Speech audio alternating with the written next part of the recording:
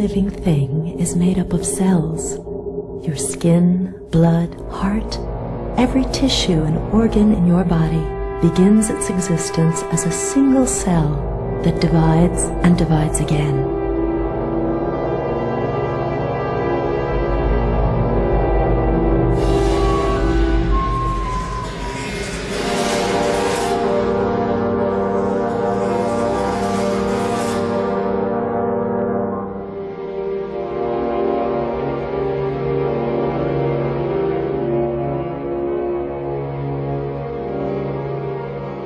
The membrane of the cell is a bumpy film of fatty molecules.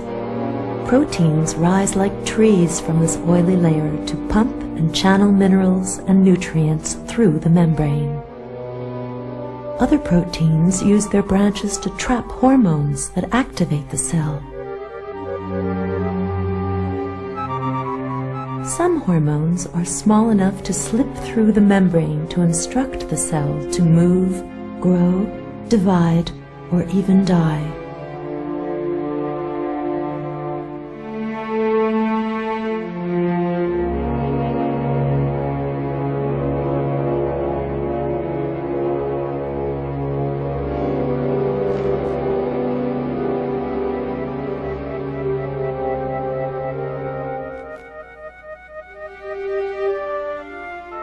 Larger hormones dock at the protein receptors.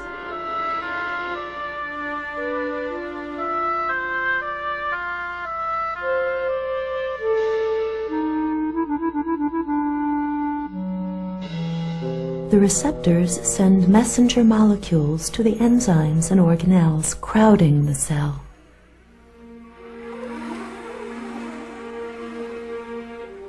Some messages reach a network of tubes called the endoplasmic reticulum.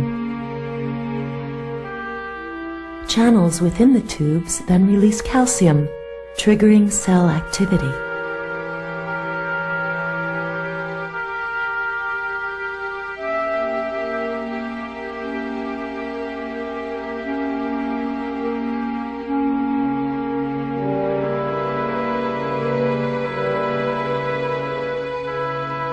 Together, messenger molecules and calcium command microfilaments to contract or relax. They may also tell the cell membrane to recycle its components. Tiny honeycombs of proteins swallow up pieces of membrane along with hormones and their receptors.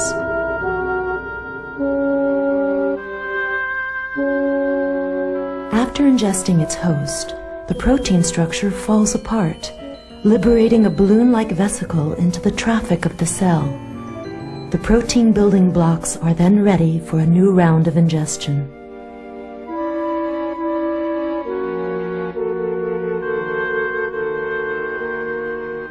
Mitochondria are organelles that provide the energy the cell needs to operate its pumps, motors, and micromachines.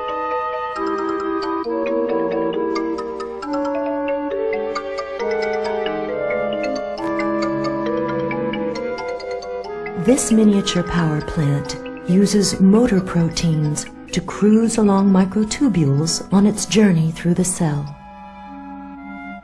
A thick soup of enzymes, micromachines, and organelles, called the cytoplasm, performs the daily tasks of the cell.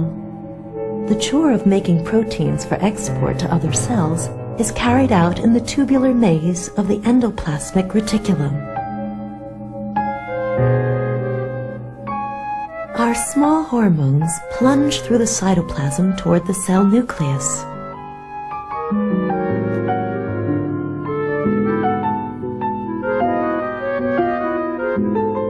Increasing numbers of microtubules signal the presence of the centrosome.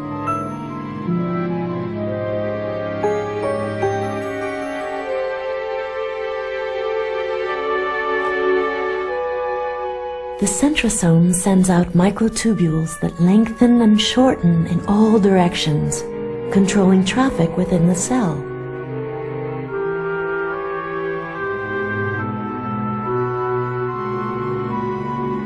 The nucleus is the largest organelle of the cell.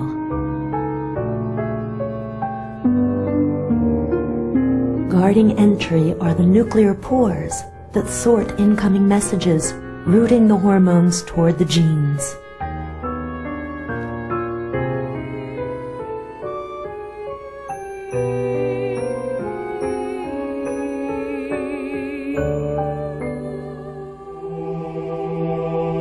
Here we encounter the precious genes, the carriers of heredity. Genes are long, thin strands of DNA wrapped around bead-like proteins.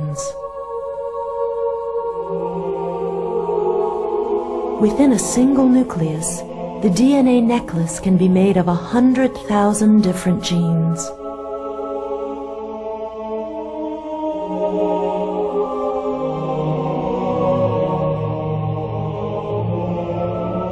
A hormone, before it can find its target gene, binds with a nuclear protein receptor.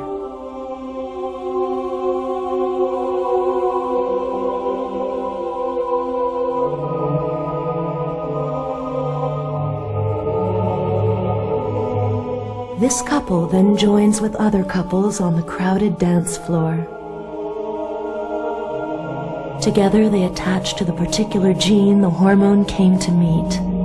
The gene then relays the hormone's desire for the cell to grow, divide, or die. To carry out the order, proteins gather at the site, forming a micromachine that reads and transcribes the gene.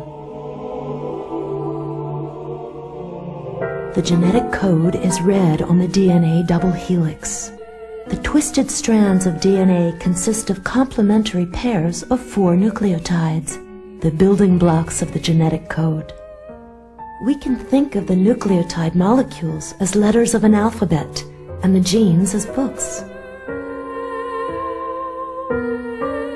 DNA is a giant molecule made of atoms of carbon, hydrogen, and other elements neatly organized into a double helix.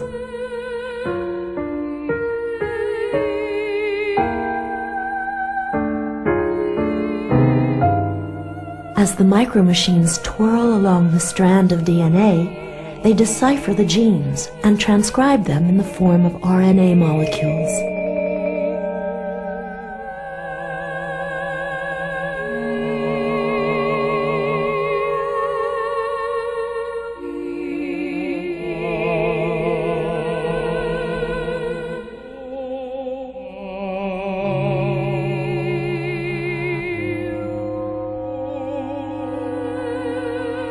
Completed, the RNA detaches from the DNA strand. The RNA then leaves the nucleus through the nuclear pore for the cytoplasm. There, the RNA will provide the code to make the proteins that carry out the hormone's instructions. If the order is to divide, the cell will make an exact replica of its DNA to pass on to the daughter cell.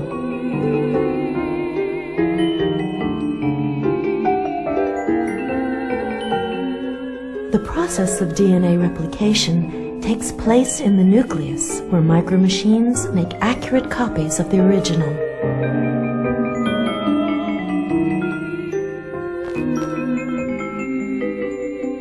Specialized enzymes within the micromachines replicate the DNA at many sites along the strand.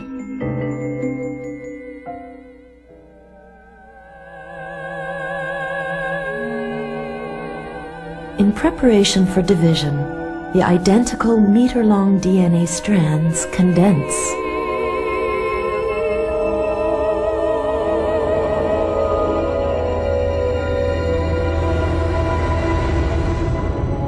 Enzymes and structural proteins engineer a sequence of packing, folding, and coiling. They supercoil into micron-sized packs of genetic information called chromosomes. Many other things are happening inside the cell at this time. The centrosome has replicated, and microtubules grow in all directions. Mitosis, the most dramatic event of cell division has begun.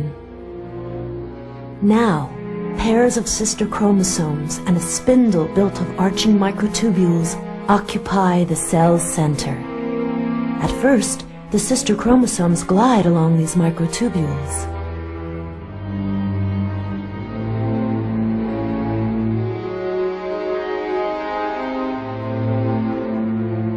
Located midway along each chromosome is a disc-like anchorage called the kinetochore.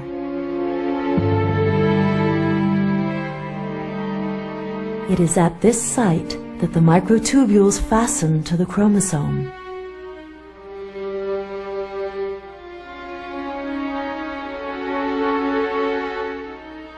The kinetochore on each sister chromosome is captured by a microtubule from the opposite pole.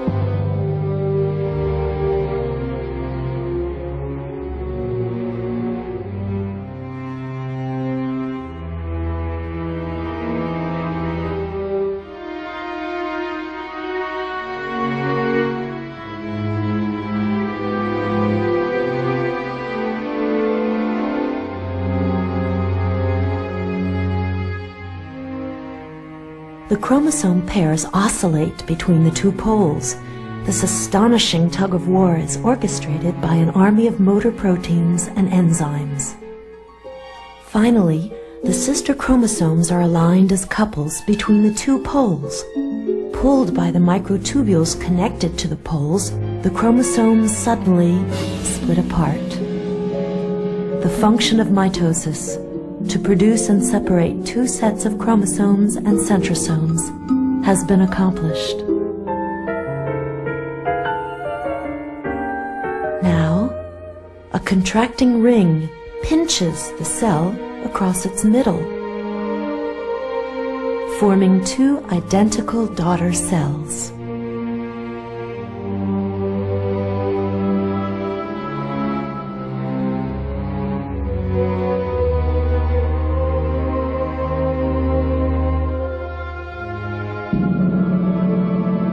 Two daughter cells will grow and divide in turn. This is the amazing cell cycle, the basis of all life.